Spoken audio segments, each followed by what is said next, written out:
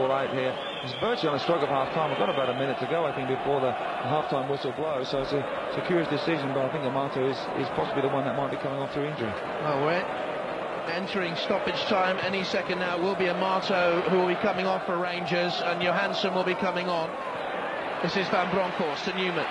Good combination down the left-hand side. We're in stoppage time. Wallace back to Numan. Good for Wallace again. There's the run in here from Albertz. The hammer. No, pulls it back to Rodney Wallace. Oh!